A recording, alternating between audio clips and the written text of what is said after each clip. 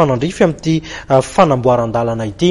Izay ny amin'iny fa androany no nanamarihana ny andro maneran-tany hiadiana amin'ny fanafoanana ny fahantrana nanamarika izany isika teto Madagasikara izay nisian'ny hetsika teny amin'ny oniversiten'Antananarivo teny. Varahantsika avy hatrany ny sary.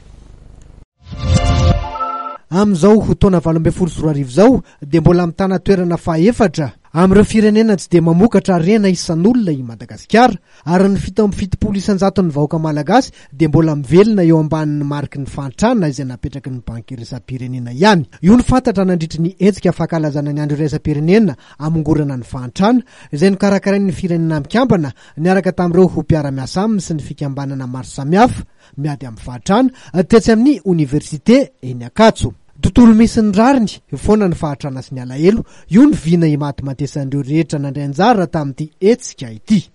Firaisankina amin'ireo voahilika mba hananganana tontolo hisian'ny fanajana ny zon'olombelona sy ny maha olona, io no lohahevitra noraisina tamin'ity taona ity.